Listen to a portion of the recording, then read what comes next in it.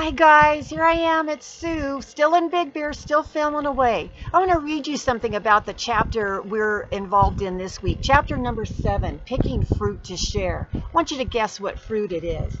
Um, at the beginning on age, page 82, I write, As we press further through this wonder-filled orchard, and we find, we find a beautiful shade tree that beckons us to come sit beneath its limbs.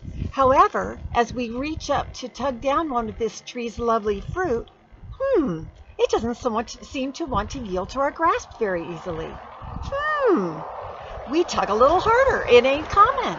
Well, what's the matter with this tree? What's its problem? All we want was a little bit of its fruit, and we want it now.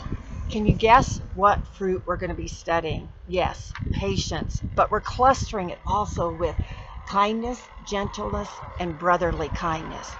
This is going to be a good chapter and one that we can always grow in further. We have people in our lives that try us, and we have people in our lives that are not lovely, that God has called us to lay our life down for.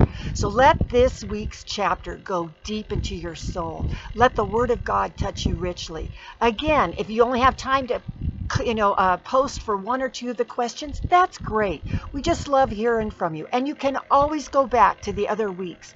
You know, as you post, it flips that question up to the top. And we generally, if you're on uh, like at least once a day or once a week even, you can run down the list and see who's written.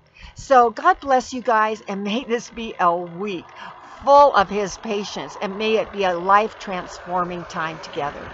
Amen.